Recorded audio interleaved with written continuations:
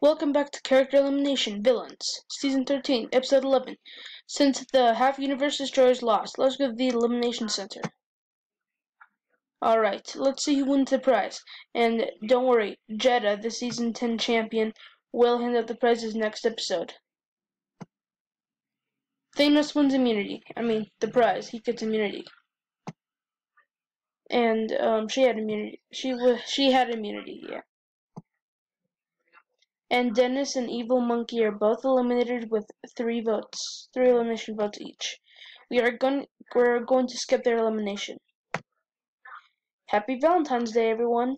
This challenge is to try not to get Woody and Bo Peep. Oh, is to try to get Woody and Bo Peep back together from for Toy Story 4. Go. Later. Looks like the Half Universe Destroyers win, and the King Koopas are up for elimination.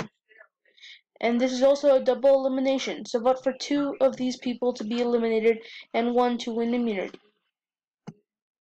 Also, one eliminated contestant will rejoin the game. Here they are. Vote for one of these eliminated contestants to rejoin the game. Voting ends soon.